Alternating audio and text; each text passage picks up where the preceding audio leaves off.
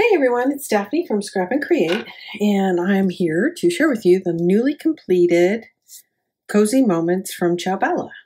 So this is an 8.5 by 8.5 by 2.5 inch mini album. It has four pocket pages inside. So on the cover, you can see I've matted and um, added some angular pieces towards the corner. This is fussy cut. These elements are fussy cut.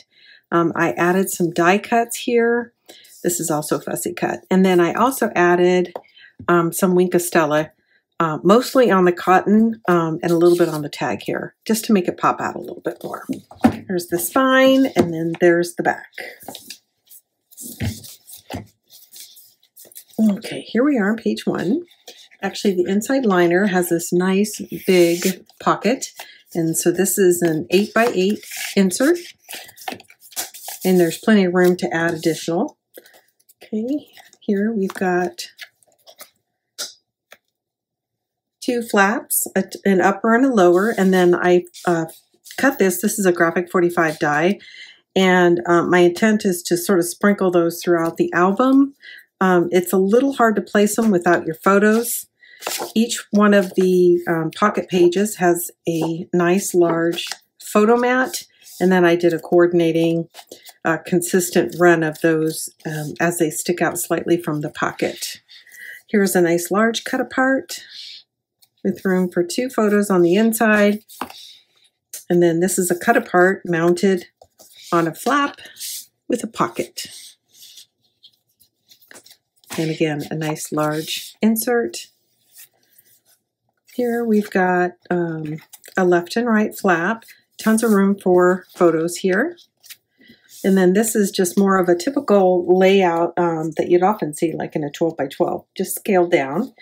And then uh, this is interactive and has room for two photos here. Okay, page four and five, they're the same design with um, different uh, papers on the inside and a different cut apart. Here we go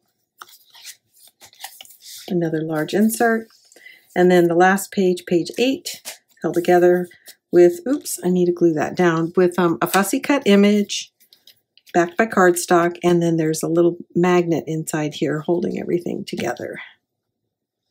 I'll just press that into place so I don't forget. And then there's a cut apart here.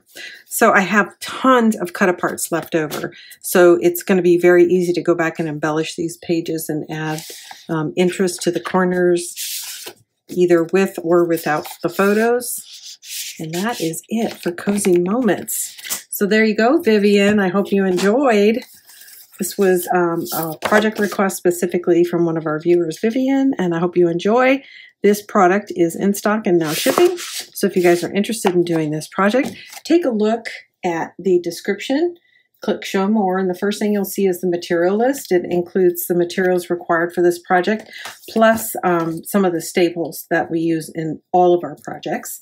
And if you continue to scroll, there'll be a cut list for this album. Thanks everybody for tuning in. This is Daphne from Scrap and Create.